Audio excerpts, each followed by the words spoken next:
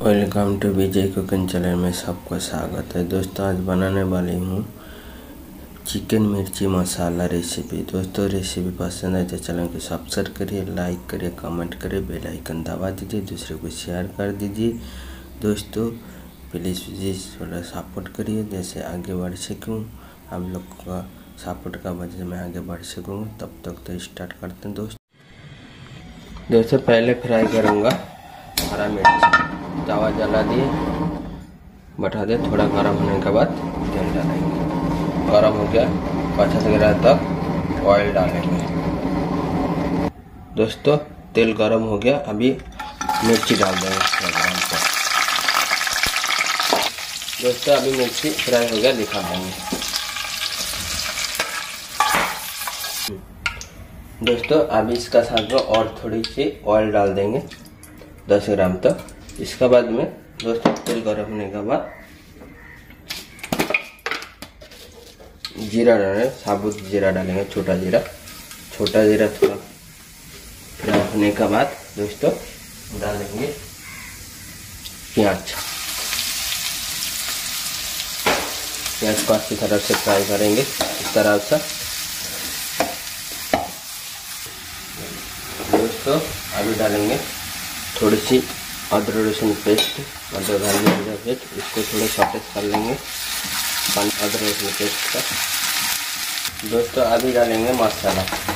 थोड़ी सी हल्दी powder one spoon थोड़ी सी Kashmiri chilli powder one spoon दोस्तों, आप लोग तीखा चाहिए तो साबुत मिर्ची वो डाल सकते हैं। मैं थोड़ी सी डालेंगे क्यों हरा मिर्ची वो है।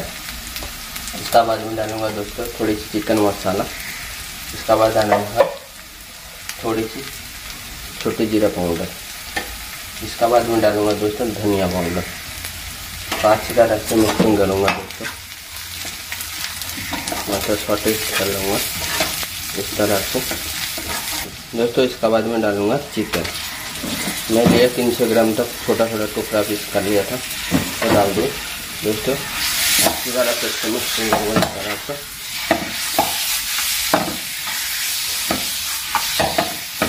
दोस्तों, दो सौ तीन मिनट में इसको चिकन का साथ मसाला का भूनूँगा।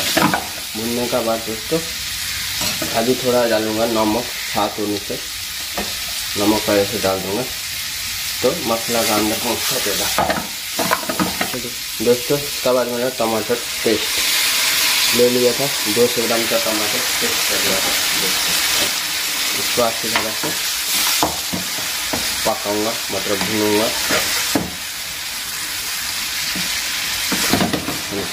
दोस्तों, अभी डालूँगा फ्राई हुआ हरा मिर्ची। इसको अच्छी तरह से मिक्सिंग करेंगे, चिकन का साथ।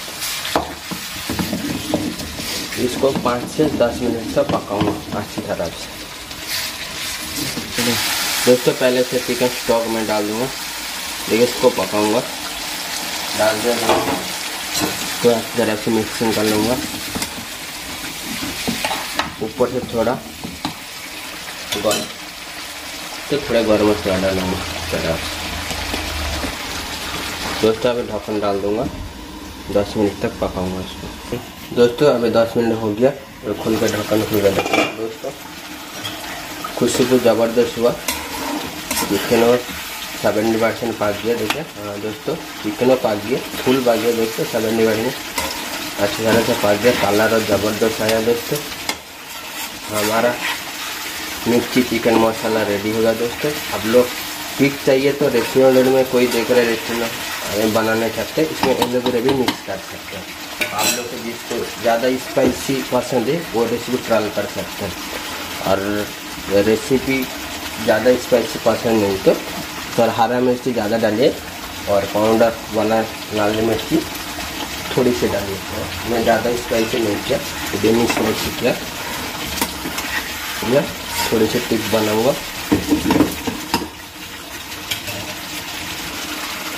उसका भी डालूँगा।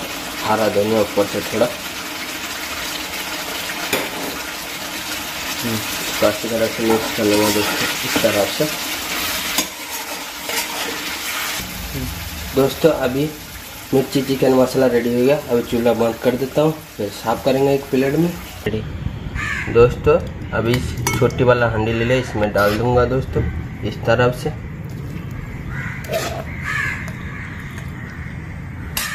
रेडी हो गया। दोस्तों रेसिपी पर दोस्तों चिकन मिर्ची मसाला रेसिपी रेडी है। दोस्तों आप लोग को रेसिपी पसंद आई तो चैनल को सब्सक्राइब करिए बेल आइकन दबा दीजिए।